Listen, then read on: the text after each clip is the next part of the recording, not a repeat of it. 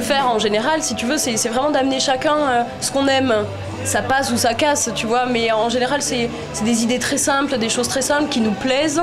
Euh, et, forcément, bah, il n'y a pas de génération spontanée, tu vois, on n'invente rien. Euh, on entend des choses et puis on apprécie et puis on, on se nourrit de ça. Euh, donc je pense que quand même, euh, que ce soit le hip-hop, le metal, euh, ou la musique classique, ou le funk, ou tout ce qu'on écoute, nourrit forcément cette musique, la musique qu'on fait.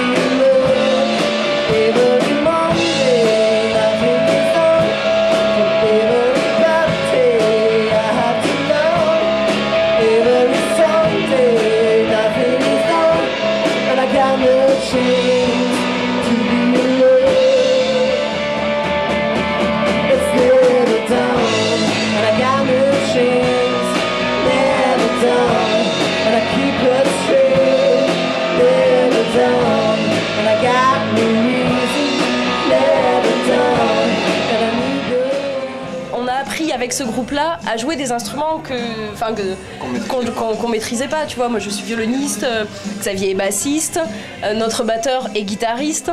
Tu vois, donc euh, l'idée c'était vraiment ça, c'était de, découvrir un instrument et d'en faire quelque chose. Le clavier c'est devenu un truc, tu vois je trimballe depuis que j'ai 8 ans, j'avais au grenier, un jour on l'a sorti en disant putain mais il fait des vieux sons tout pourris, super et, voilà. Et l'idée d'avoir des, des mélodies accrocheuses en fait, voilà.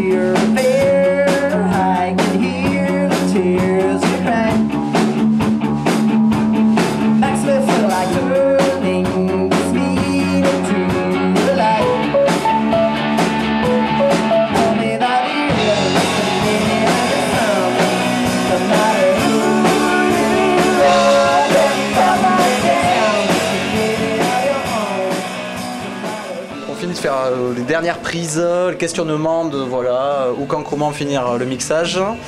Mais ouais, ouais, on est sur un gros projet parce qu'on a enregistré vraiment. Euh, on veut vraiment sortir un vrai gros album. Euh, et pareil, sur lequel on va faire venir plein d'amis musiciens. On essaie de faire un truc vraiment euh, familial, mais qui, qui, soit vraiment un projet qu'on veut porter à bout de bras jusqu'au bout, quoi.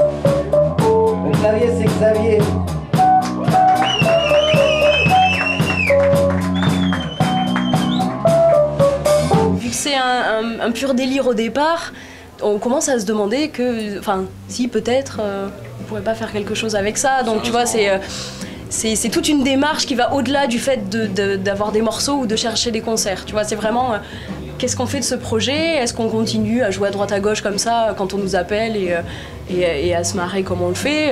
En continuant à se marrer, on pourrait aussi prendre le projet un peu plus au sérieux et, et le, pousser un peu plus loin.